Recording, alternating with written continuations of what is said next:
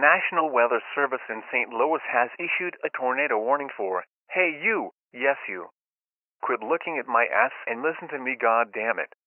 I'm the badass emergency alert system guy. Your motherfucking no good backstabbing life depends on me and my information. You say that the tones scare the living sperm out of your younger brothers and sisters. But these tones are meant to get your fucking attention. But you just flip off the TV and walk away from it thinking that it was just a test. You say that you want to keep your family safe, but I guess nuclear fucking bitches like you don't care if you die. Hey, quit looking at my ass and put the remote down. You're not gonna watch My Little Pony because apparently I'm your dad now. So, are you going to listen to me, or do I have to say whatever I want? Fuck it, I'll keep going.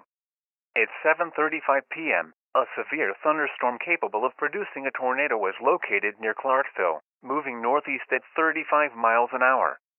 Hazard: tornado. Source: radar indicated rotation. Impact: flying debris will be dangerous to those caught without shelter. Mobile homes will be damaged or destroyed. Damage to roofs, windows, and vehicles will occur. Tree damage is likely. Dangerous storm will be near, and there you go again ignoring me, and now I can see you outside playing Among Us on your phone. Oh well. I hope your sis and the tornado sucks you up and tosses you into the Mississippi River.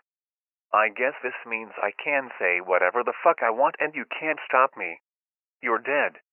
Your friends are dead. Your family's dead. Your fucking pets are being skinned alive.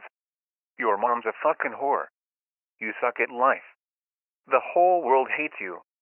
You're going to hell. Live with it. Game over. Oh, that's just fucking great. I got a fucking pink slip.